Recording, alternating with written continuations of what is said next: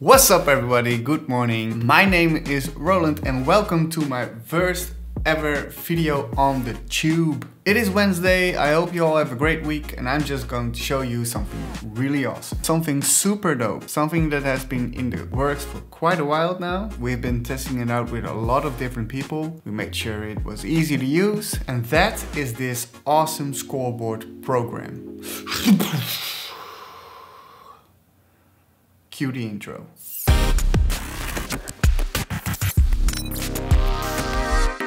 Before we get started, I want to thank one person in particular, and that is GoGoku7. Together we developed this scoreboard application, but he did all the coding stuff, which is a lot of work by the way. He's an actual wizard and therefore you should follow him. His links and his social are down in the description below. What this software does is let you display a scoreboard on your stream to keep track of any match, pure battles, sub tournaments, online tournaments, or even in real life soccer matches, whatever floats your boat. So I'm going to run you through acquiring this nifty piece of engineering, show you what it's like, where things go, try to simplify it for you the best that I can, and and I think at the end of the video, I'm going to show you how to edit the designs in Photoshop if you would love to go the extra mile. So you can customize it for your own stream. Animations included. Now let's get this magical scoreboard on your streaming program. Alright, the first step is an easy one and that is downloading the respective program from the link in my description and put it in a spot that's comfortable for you. Right click on the folder you want and select download. Once downloaded, you have a multitude of files and folders. The ones you should keep in the back of your mind are the important files folder. If you are tech savvy and know how to code, you can find these files in here. The overlay folder for customizing the design later in the video. And of course, the scoreboard.exe file.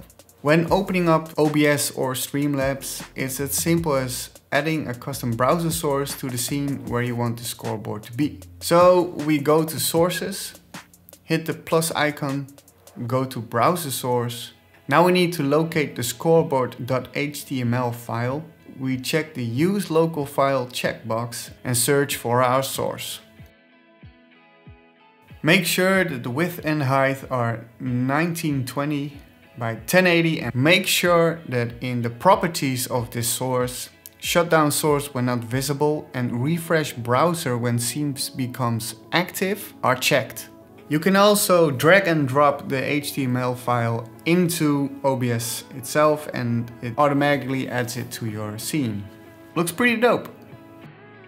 But Roland, it's blank, I can't type anything. Don't worry, we didn't mess it up.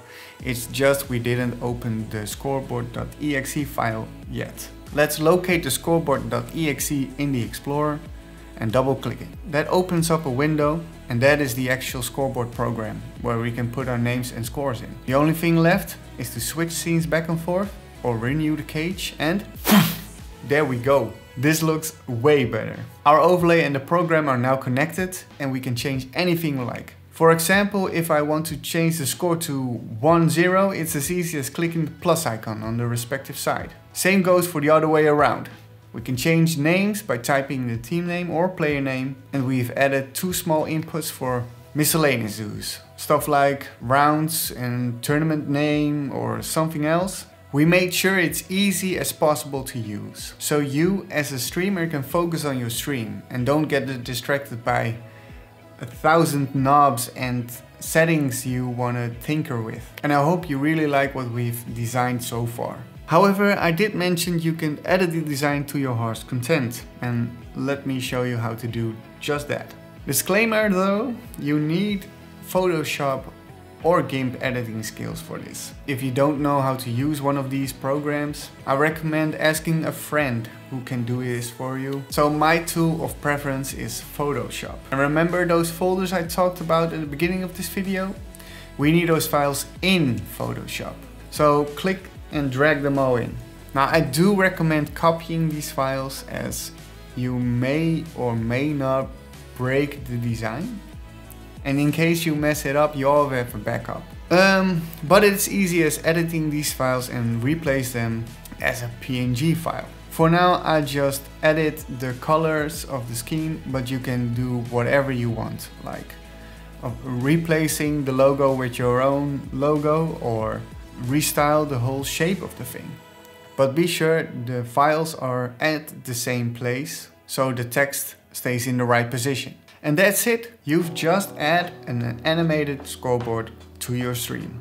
Maybe even designed it. Considerably better than using text files and editing in one place. And it took about 15 minutes to add and design this scoreboard to your stream. See how easy it is? So let's watch this one more time because it's tasty. Ooh, love it.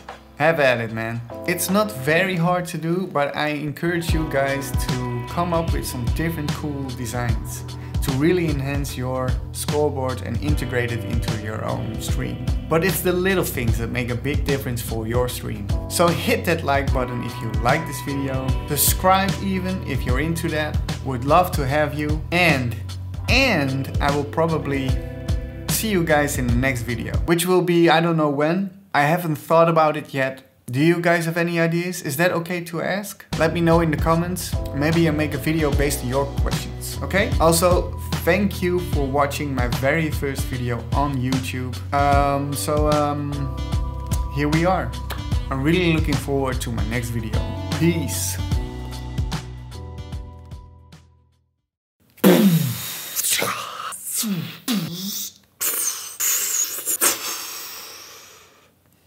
awesome scoreboard program.